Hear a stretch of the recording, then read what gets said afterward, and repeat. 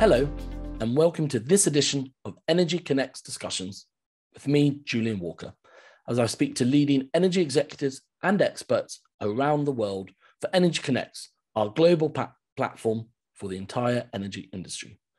Today, I'm delighted to welcome Simon Birkebaek, partner at Boston Consulting Group, and Mogens Holm, associate director at Boston Consulting Group. Thank you both for joining me today. Thanks for having Julian.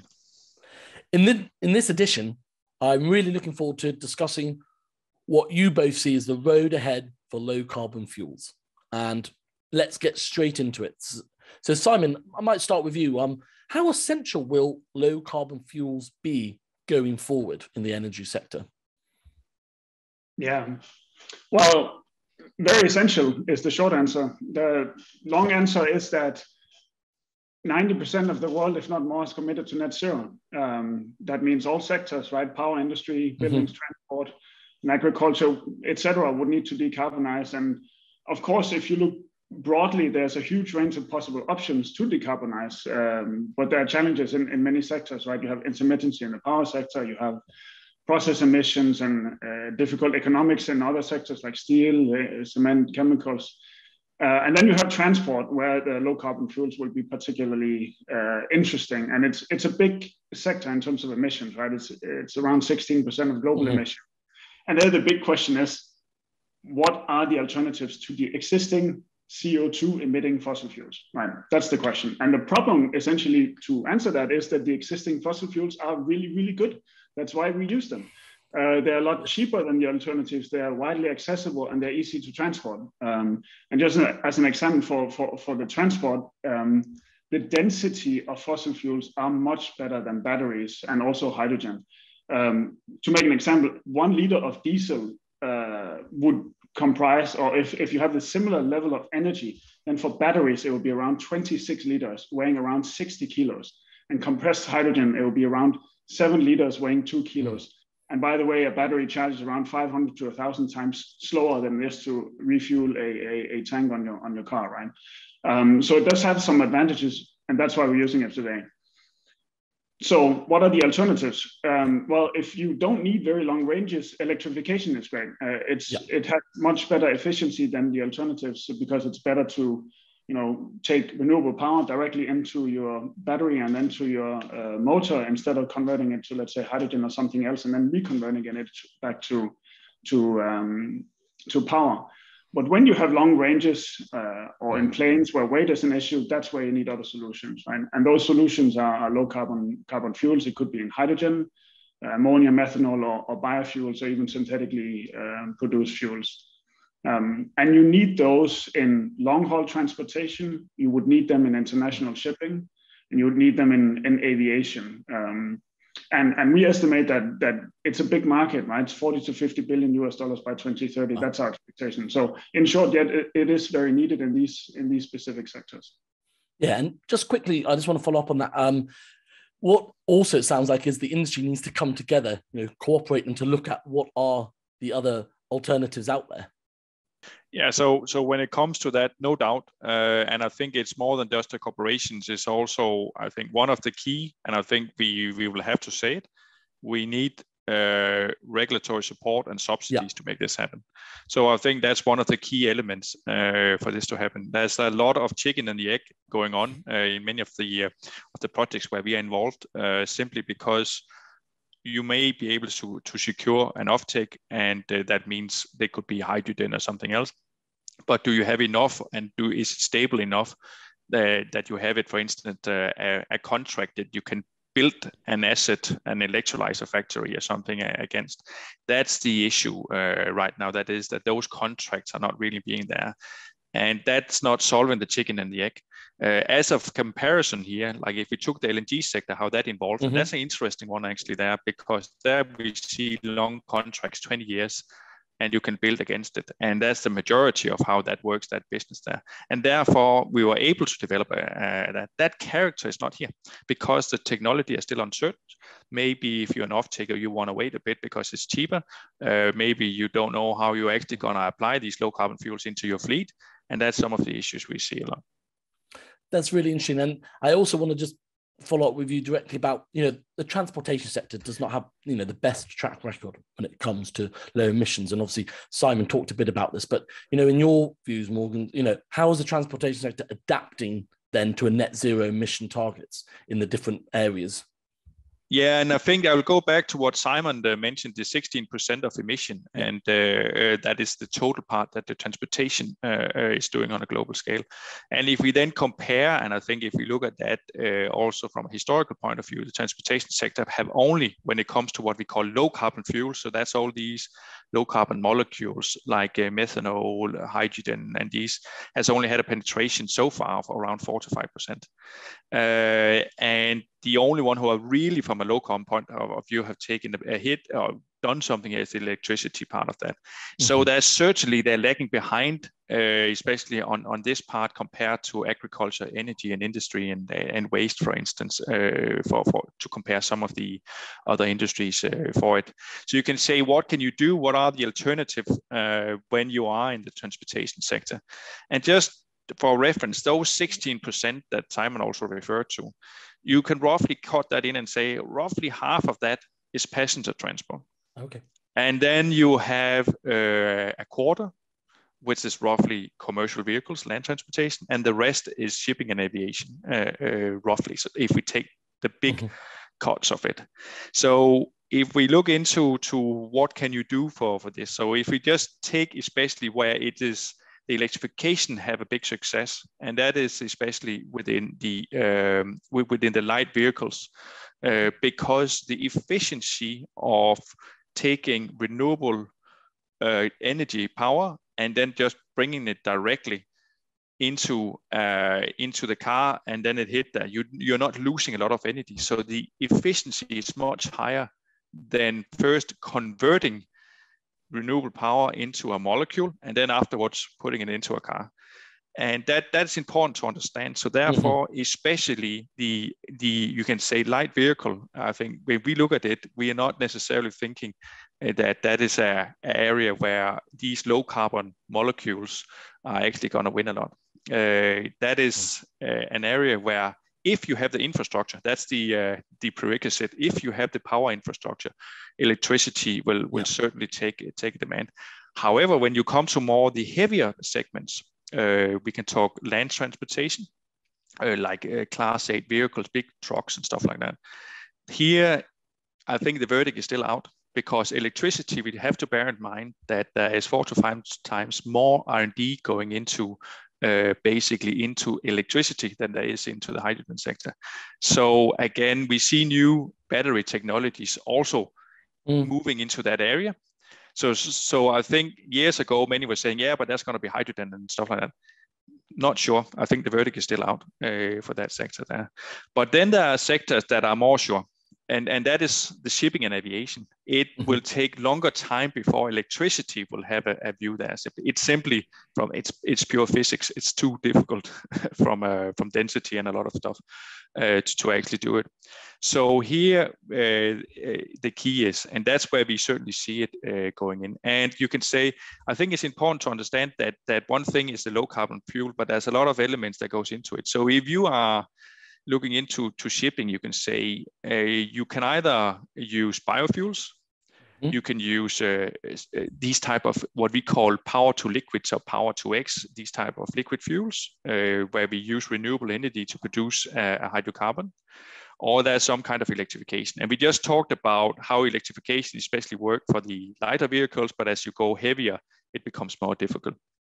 We also have to bear in mind that historically what have driven it is certainly the transportation efficiency like with our houses and everything else. We actually have done a lot in especially in europe on efficiency and that is still a very important uh, lever that people tend to forget. And then of course there's one uh, lever more. We just haven't seen that in the transportation sector. We've seen that in other sectors. That is you reduce the amount of transportation so there's also a volume thing in, into it. Uh, whether that's going to happen in transportation, it's going to be interesting because that, that is linked to the globalization, so to speak. So if you look into these types of, of fuels, then say, okay, how are that adapting uh, uh, for this one? So what we see is that many companies now are saying, okay, first of all, and that's the type of things that Simon and I are working with for, mm-hmm. for, for different clients is basically they are asking the first thing they ask is okay how does this impact me this hydrogen can you help us uh, try to to find out uh, is this a threat or is this a gift uh, mm-hmm. and then it comes after that say okay how can i then oh that's a good thing let's try to basically find out how do we then play uh, into yeah. this value chain and where do we play how do we play who do we partner with and then as we go along and that's where we involved more and more that is okay we also have to build the production assets we might have to build uh, many of these elements that actually enables it and that's where we are today uh, uh, for it. What we see is again and back to what i mentioned before the the whole offtake uh, part we see people testing it out to learn. And then by learning where they also find out is there a certain position in the value chain? It could be uh, storage mm-hmm. of uh, ammonia on a on a harbor or something that is going to be a choke point going forward. So if I have that one, do I then have value? Can I basically create value out of that? And those are the elements that you can see many are, are basically uh, testing out now and figuring out, uh, and then decarbonizing a part of their fleet. And then when they like pilot scales, and then at some point when they have they feel comfortable about it that they can operate it, then we will see these bigger scales. But we probably have to see those bigger scales, uh, not not for the next five years, but after that we will start that really being exponential.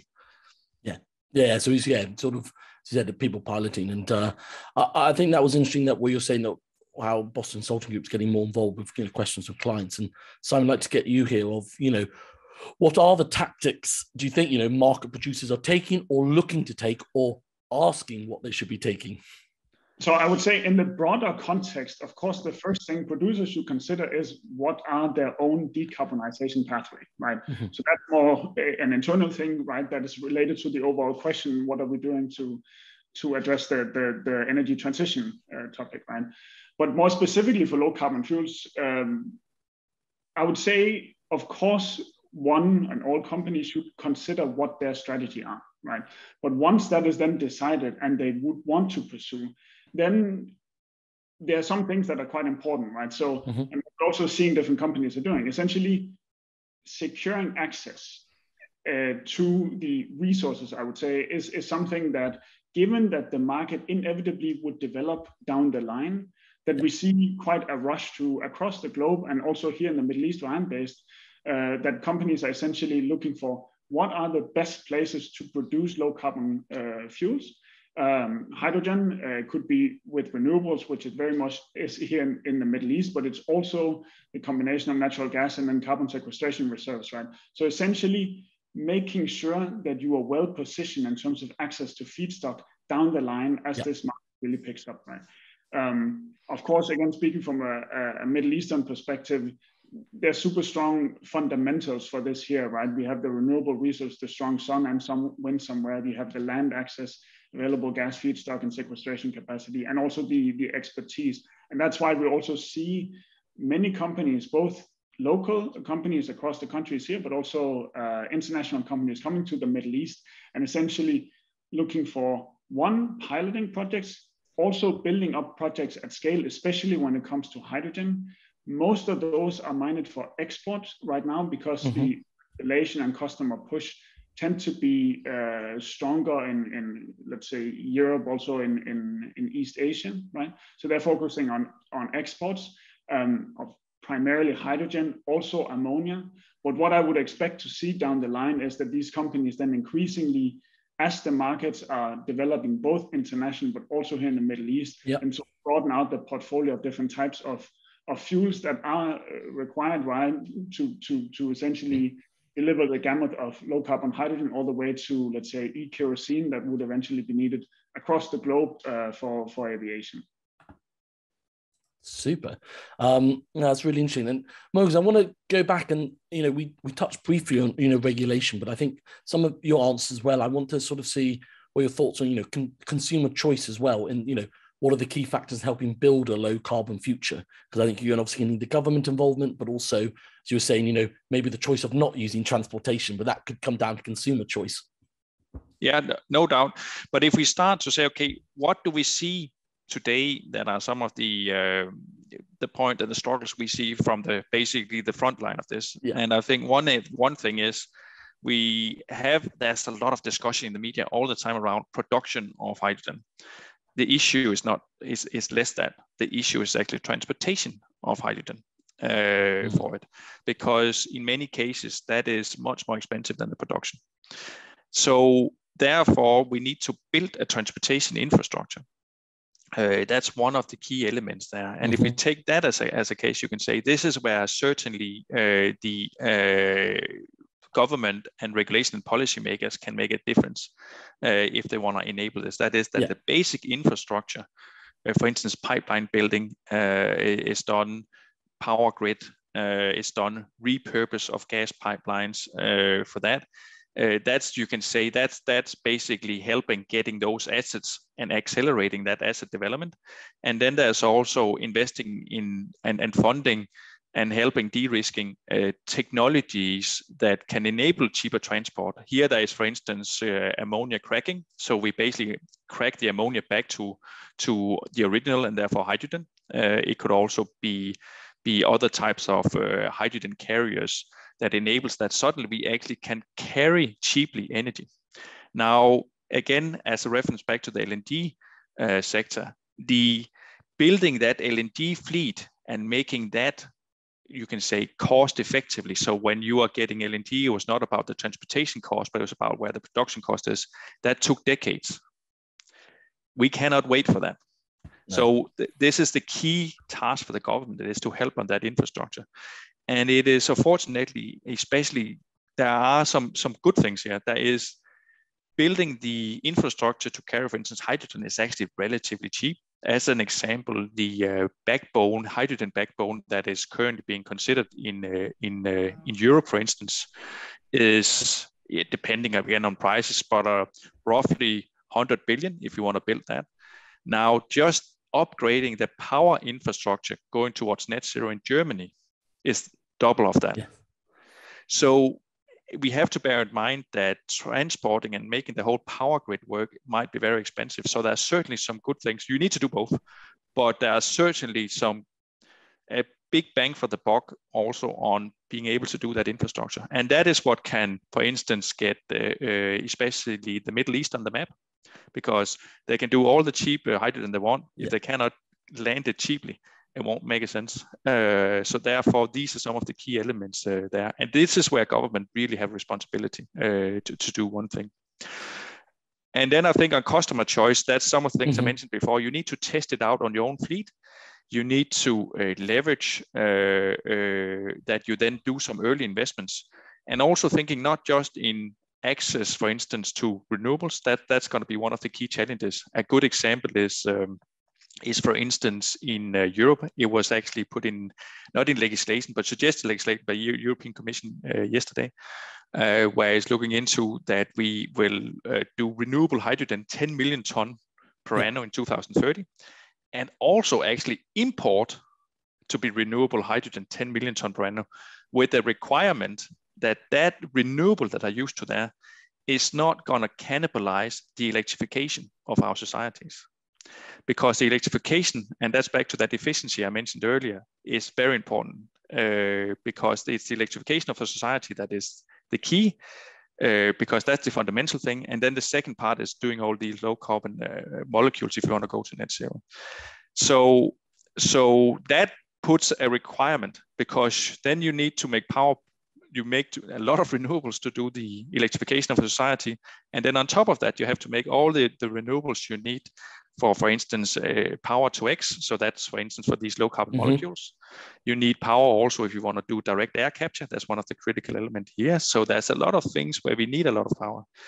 And that's going to be one of the issues also. How can we build and scale that fast enough?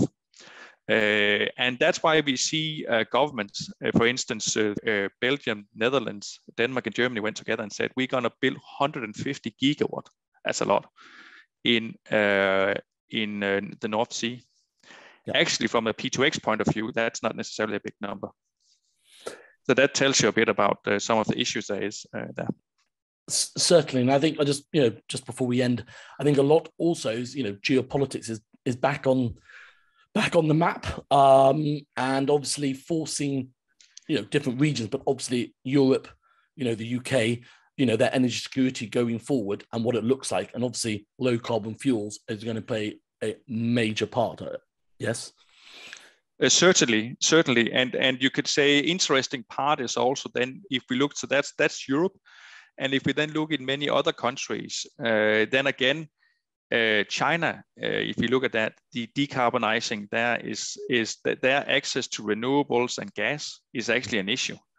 So uh, how are they going to scale up? Have they even roughly probably started that?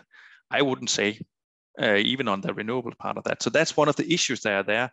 Are there alternatives? Yeah, nuclear power and, and using that is certainly an alternative, for instance, in some of these countries. Uh, so, so interesting to see how that innovation goes on, especially in Asia uh, for it. Uh, in US, again, we have high availability of gas. Uh, and no doubt you can also efficiently decarbonize gas. And that is also uh, certainly also a pragmatic way and a cheaper way in many cases to uh, to to the paradigm that we have in Europe. Maybe, maybe adding adding yes. adding one to that, Julian, if I may. Um, I think in in theory, of course, it is a nice thought to have um, synthetic fuels produced by renewables because you can place the renewables wherever, right? And therefore, you can you can be less dependent on long supply chains, right? So uh, that is certainly one, I would say, driver behind uh, the, the, current developments we're seeing. Mm-hmm. I think it's important to take into consideration, as, as Mogens also mentioned, that in order to decarbonize, especially sort of fairly densely populated areas like Europe, you need so much renewables, right? You need renewables across pretty much all sectors, right? Yeah. And, and low carbon fuels takes a lot of power and therefore it is likely not sufficient with the uh, renewable power that can be produced in Europe to serve Europe's need. And that's why Europe would still need to import fuels. Now, hopefully over long term, that shift will then be from fossil fuels, right, to uh, low carbon fuels, uh, where there's a number of different uh, candidates for where that should, should come from.